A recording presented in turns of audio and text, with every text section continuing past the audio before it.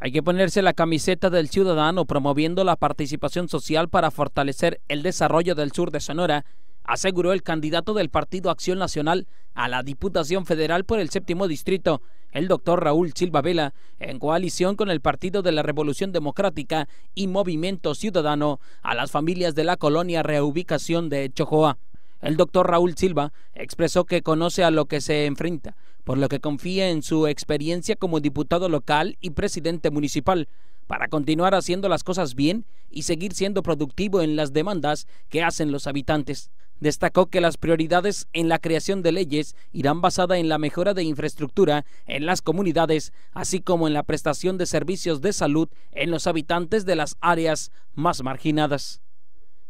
Con edición de Manuel Bracamontes, informó para las noticias Alejandro Ramos.